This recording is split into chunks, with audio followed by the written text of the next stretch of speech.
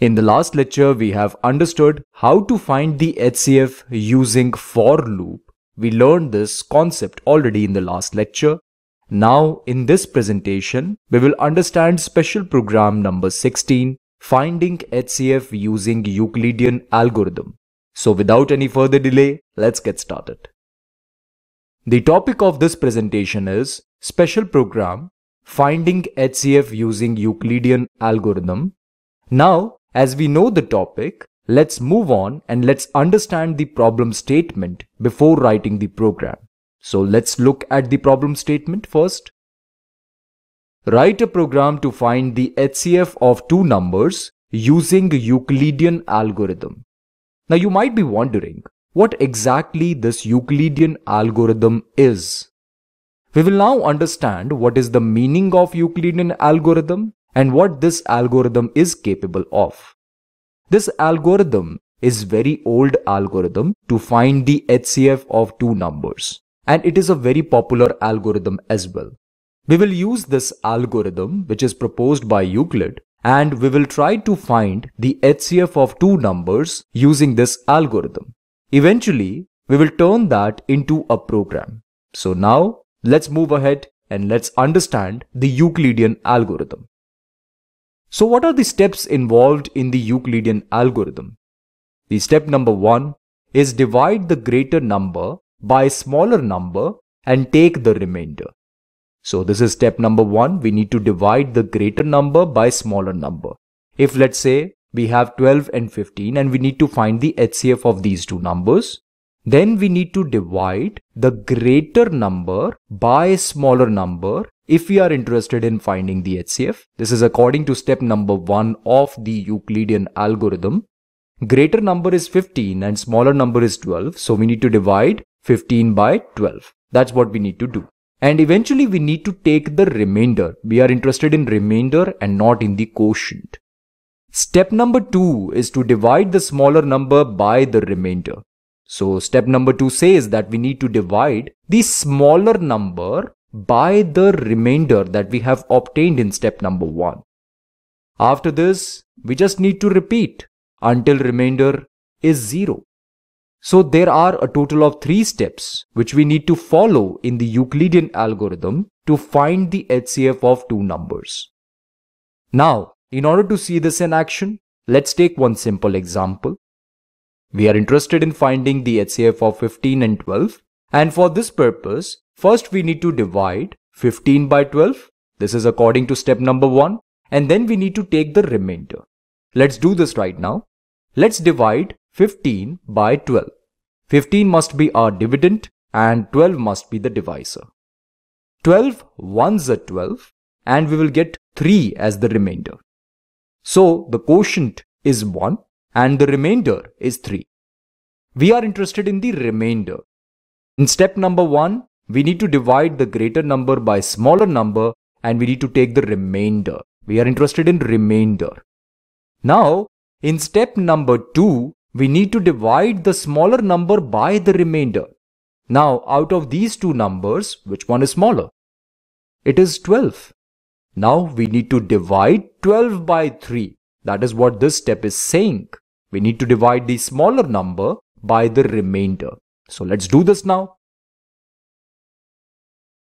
This time we need to divide 12 by 3. We know that 12 is completely divisible by 3 because 3 is the factor of 12. 3 4s are 12, that's what we can say. And what we are getting here is 0 as the remainder. According to step number 3, we need to repeat this step until remainder becomes 0.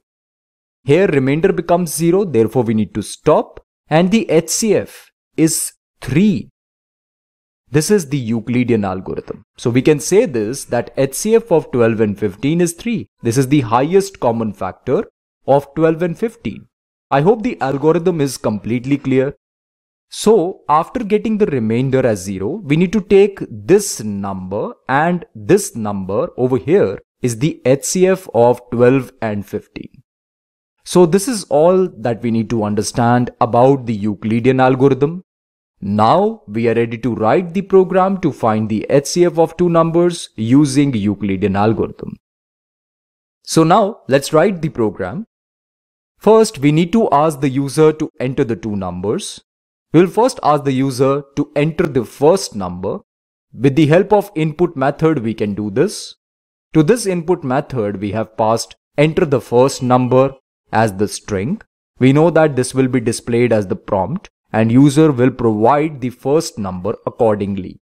We will store that number in num1 variable. After this, we will ask the user to enter the second number and we will store that in num2. Now, let's say that we want to divide num1 by num2. It can be num2 by num1, but let's say that we want to divide the first number by the second number. For this, we must remember that we always need to divide the greater number by the smaller number. Like in this case, we are dividing 15 by 12. Therefore, num1 must be equal to 15 and num2 must be equal to 12. Let's say these numbers are provided by the user. In that case, num1 must be 15 and num2 must be 12. Let's say that the user has provided the first number as 12 and second number as 15. In that case, what we need to do? We need to check this if num1 is less than num2. If at all it is the case that num1 is less than num2, then we will swap num1 and num2. This means that we will make num1 equal to num2 and num2 equal to num1. What is happening here in this line? We are performing tuple unpacking here. Now what do we mean by tuple unpacking? By writing this line, we are making this a tuple Whatever the variables we have on the right hand side, they will be represented in a tuple. So a tuple is created and the values of these variables will be stored in that tuple. After this, the tuple is unpacked. This means the values of these variables will be assigned to these variables on the left hand side respectively. The value of num2 will be assigned to num1 and the value of num1 will be assigned to num2. So, if it is the case that num1 is equal to 12 and num2 is equal to 15, after performing this step, we will get num1 equal to 15 and num2 equal to 12. And that is what we want. We want that num1 must be greater than num2. I hope up to this point the program is clear so here we are performing swapping and this means that we are making num1 equal to num2 and num2 equal to num1. Now after this, the next step is to perform the main operation. That is, we now need to find the HCF of two numbers using Euclidean algorithm. How to do this? We need to perform successive division and we can do that with the help of while loop. If you observe carefully, we need to divide 15 by 12 and eventually we will get the remainder. We need to take this remainder and in the next step, we need to make this the divisor. This means that this must be the new num2 and num1 must be equal to the previous num2. This is num2 in the previous step. Now this must become num1 in the next step. In the next division, this must be the num1 and the remainder must be the num2. So for this purpose, we need this while loop with this while statement, while num2 not equal to 0. And then we need to continue and write this line, num1 comma num2 equal to num2 comma num1 mod num2. Understand what is happening here. First, we are checking this. Is num2 equal to 0? Why are we checking this? We know that these are the values of num2. They are num2. If num2 becomes 0, then we need to stop at that point. Hence, we are using this condition. If num2 is equal to 0, then we will move outside of this while loop. This means that at that point in time, while loop is terminated. Now within this while loop, we have this line num1 comma num2 equal to num2 comma num1 mod num2. The same thing will happen here. Tuple unpacking. First the tuple is created. The values of num2 and num1 mod num2 will be stored in that tuple. And eventually tuple unpacking happens. This means that the value of num2 will be assigned to num1 and the value of num1 mod num2 will be assigned to num2. This is what we want. We want this that in the next step, num1 must be equal to num2. That is what we are doing here. We are making num1 equal to num2. This was num2. Now it becomes num1. That's what we are doing. And we are also making num2 equal to num1 mod num2.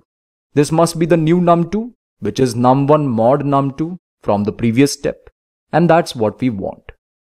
After the execution of this while loop, we will get our HCF. Understand this, that at this point, we know that num1 is equal to 12 and num2 is equal to 3. Now we know that num2 is not equal to 0, so we will go inside. Now, according to this line, we need to make num1 equal to num2. This means that num1 is now 3 and num2 must be equal to num1 mod num2. What is num1 mod num2? At this point, this is equal to 0. This means that num2 becomes 0 and num1 is equal to 3. Now after this, we will check this condition. Is num2 equal to 0? Yes, num2 is equal to 0. Therefore, we need to stop. Hence, we know that we need to print the value of num1 because num1 is equal to 3 and hence this must be the HCF. Therefore, in the print statement, we will use the value of num1 to print the HCF. So here we are writing this statement. The HCF is num1. I hope this idea is clear.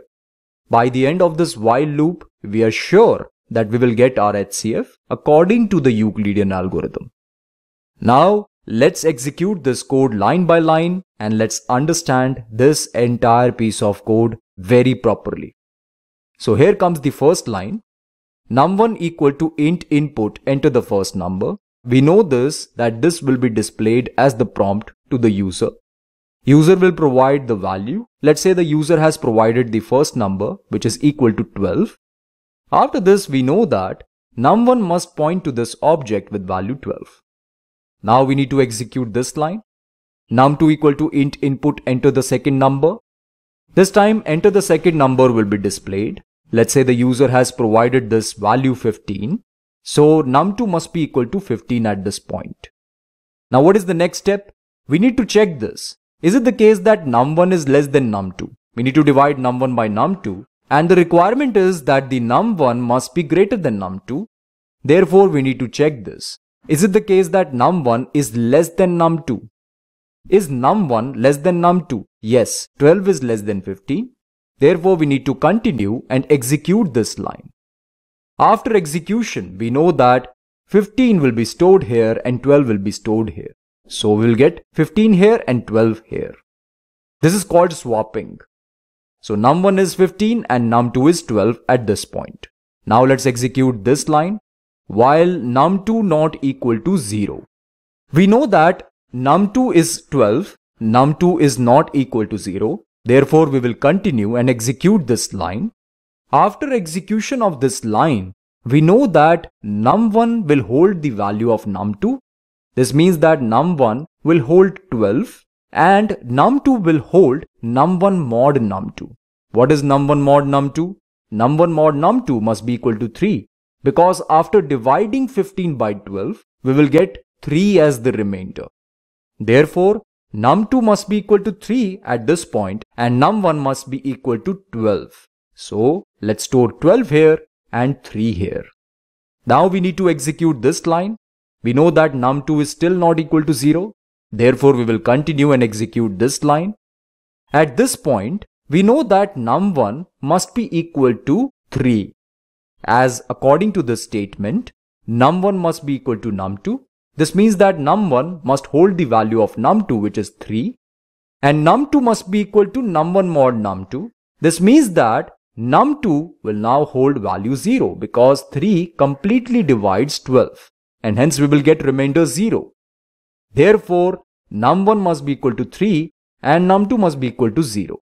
Now at this point num2 is equal to 0 therefore this condition is not satisfied this becomes false hence we need to terminate this loop at this point and this means that we will go outside this while loop and now we need to execute this print statement. After execution, we will get this output. The HCF is 3 because num1 is 3. I hope this idea is completely clear. In this way, we are getting the HCF of two numbers, that too using Euclidean algorithm. And this is the complete program to find the HCF using Euclidean algorithm. Now, we are ready to execute this code in Visual Studio Code to verify the results. So let's open our Visual Studio Code now. I have opened this folder Python work in my Visual Studio Code and within this folder I have created this file HCF using euclidean.py. Within this file I have written the same code. Now we are ready to execute this code. For this purpose we need to open the new terminal and we need to type this command python then white space then name of this file followed by .py extension. So let's do this now.